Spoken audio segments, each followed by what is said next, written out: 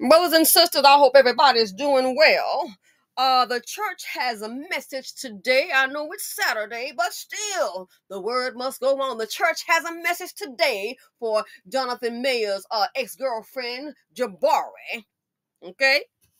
Now, in the BC, these things happen every day, and the women just look the other way. We're not trying to glorify any DV, but something is wrong when you are chasing a brother down these mean streets. Y'all saw the video, got him running with his church shoes on and trench coat. Y'all saw him running.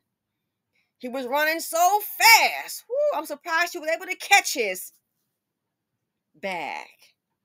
So, without further ado, we love to deliver a lot of here, and we like to deliver a lot of our messages through song. Okay?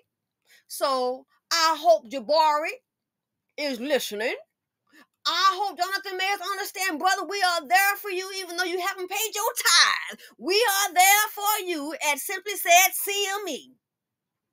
Okay? You see the Cash App to pay your tithing.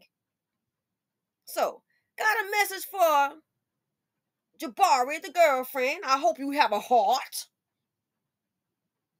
There's an old song that grandmama used to say at her church. I don't need no choir, no organ. I'm gonna do acapella. It's coming from my heart. Again, I'm asking you to, whoa, loose that mane, whoa, loose that mane, whoa, loose that mane, loose that man and let him go. Loose that man and let him go. You got him running down the street with his church shoes on. Oh, loose that man. Oh, loose that man.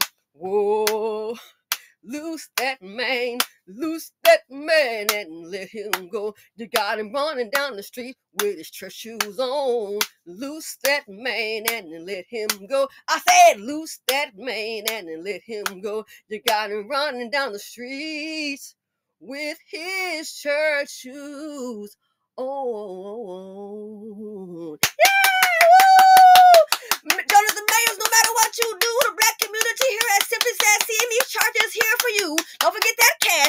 and we out.